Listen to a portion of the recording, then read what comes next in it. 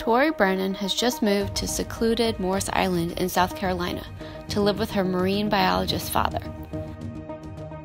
Science and adventure are in Tori's blood. She is the niece of Dr. Temperance Brennan, otherwise known as Bones, a world famous anthropologist. When Tori is exploring the nearby Loggerhead Island with her science loving friends Shelton, Hi, and Ben, they find some old dog tags that date back to the Vietnam War.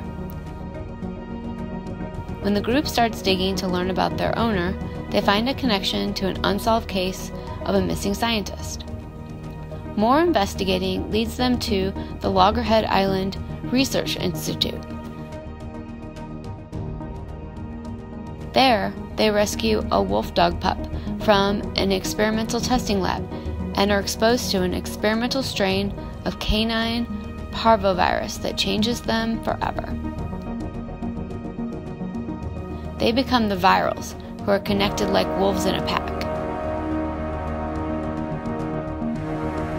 They soon discover their new heightened senses and canine quick reflexes. Together, they work to solve the mysteries they have uncovered. Will their science skills and viral abilities be enough? Find out in Virals by Kathy Reichs.